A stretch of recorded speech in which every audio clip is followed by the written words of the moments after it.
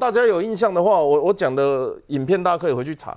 柯文哲在最后一次质询最后一个会期的时候，他遇到邱威杰、苗博雅给他的提醒嘛，邱威杰跟他讲说，啊，台北市议员邱威杰跟他讲说，你如果在白目啊，或者用人不当，你未来挑战大陆会有问题。然后苗博雅跟他讲说，你的案子怎么样怎么样？说，哎，我跟你讲，华城柯文哲那个时候的态度是，他讨厌的人咨询他回都不回，嗯，没踩吧，不爱踩吧，理他都不理，而且是用鄙视的方式在做回应，因为他已经没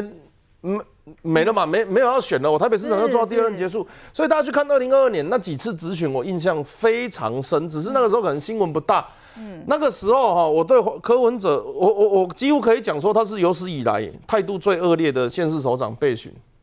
因为他那个时候就真的是啊随便啦，爱怎么样怎么样啦，我不管了，我不知道。为了这被当啊，他是真的是连那种我不要啦，我不我不管啦的那种语助词都跑出来，但是还呛人，对，还还会回呛哦，你懂什么？还会回呛哦。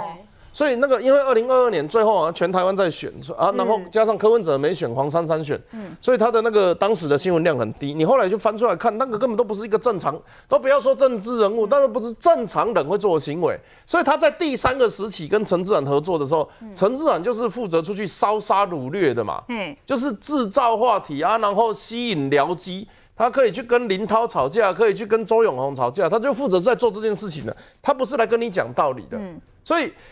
当你理解陈志远的行为的时候，你就可以体谅这个政党已经现在叫做黔驴技穷。我还是要讲那一句话：民众党会起来，不是因为黄国昌、黄珊珊、柯文哲、蔡壁如，是因为柯，呃，是因为柯文哲，不是因为刚刚讲的那那个什么其他的人。所以你你你可以理解一件事情，就是我今天哈点选民事向前行，我要是我是要来看。我是要来看主持人的，嗯，但是我点下去的时候，主持人不是啊，别人代班，黄国昌来代班，我转台，